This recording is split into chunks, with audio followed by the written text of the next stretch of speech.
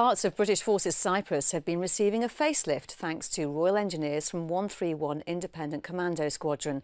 The Territorial Army unit is on the island for exercise Red Dagger and as part of their tasks they need to improve various training and recreational facilities on the island.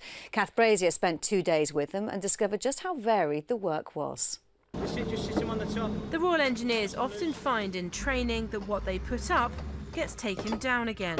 But for these guys, this is a live exercise, and the hope is that the infrastructure will remain for years to come. Things like the Cuplock Tower um, should should be very, very long, long-lived. Um, the HESCO itself, you've got a number of years. Like I said, if you don't coat the uh, the outside of it, then the membrane will eventually fail because of the UV from the sunlight. FOB Spartan is almost constantly in use by visiting units, sometimes acting as their base for weeks on end.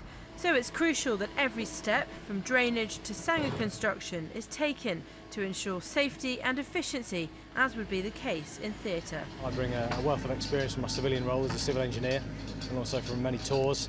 It's just nice to have a, a, a second job to build on, really. Some more skills I've learnt with this job than I have in my civvy street job. Ahead of schedule and still hard at it, so far it's all gone to plan the work we're doing, although it's arduous, it's achievable in these conditions and we just have to manage the heat and the risk uh, accordingly. FOB Spartan then getting a full makeover from 131 Squadron up here at Episcopi. But away from this dry and dusty environment, another element of the unit are underwater down at the mole in Akrotiri. 131 is a light role squadron that forms part of 3 Commando Brigade Royal Marines and they're the only TA squadron in the British Army who have a dedicated diving unit. We've been doing some buoyancy tasks. Uh, they're very small buoyancy tasks, but the principle's the same of divers working together uh, in low visibility uh, and trying to communicate underwater and, and moving objects as a combat engineer task. The divers here are moving concrete blocks to create a lazy line that allows crafts to be moored close together facing in. 131 is based in northwest London, but their catchment area stretches far and wide, with remote troops at Plymouth, Birmingham and Bath.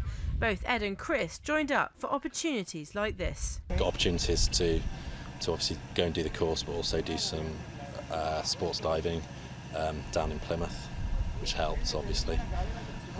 So yeah, it's, all, it's one of the kind of new things that I've been able to do with the squadron. I'm doing a, a master's in hydrography, so looking for oil and gas or diamonds on the seafloor and sort of mapping the seafloor, that side of it.